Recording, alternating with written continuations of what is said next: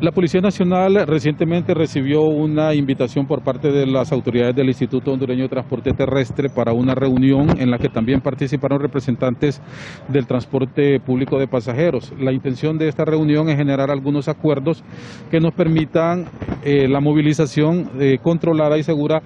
de aquellos migrantes eh, que transitan por territorio hondureño. Esto considerado que se han vertido a través de medios de comunicaciones ciertas situaciones donde se les vulnera su seguridad. Ya el IHTT con los empresarios establecieron cuáles son aquellos precios para los desplazamientos en el caso de aquellos que vienen desde el sector fronterizo con Nicaragua a la capital de la República y lo mismo los precios del pasaje para las rutas de Tegucigalpa hacia los puntos fronterizos con Guatemala, específicamente Aguacaliente o Corinto. Como Policía Nacional nosotros eh, vamos a ofrecer el habilitar eh, las estaciones policiales que se encuentran en las rutas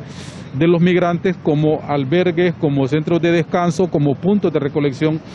de información. Esto debido a que sabemos que dentro de los migrantes van grupos vulnerables como mujeres embarazadas, menores de edad, y personas de la tercera edad.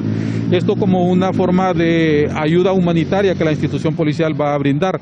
También nosotros vamos a estar eh, como Policía Nacional a través de la Dirección Nacional de Vialidad de Transporte a la expectativa que el Instituto Hondureño de Transporte Terrestre junto a los empresarios nos digan cuáles van a ser los horarios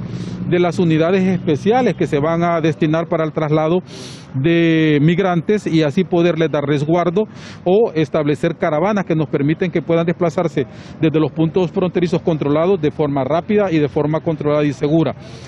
Eh, como institución nosotros también vamos a estar eh, participando en eh, futuras reuniones porque sabemos que hay más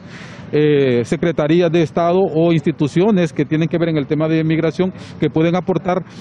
con ah, elementos importantes que nos permitan pues brindar seguridad a estas personas que lo que buscan es transitar por el territorio hondureño en su recorrido hacia el norte del continente.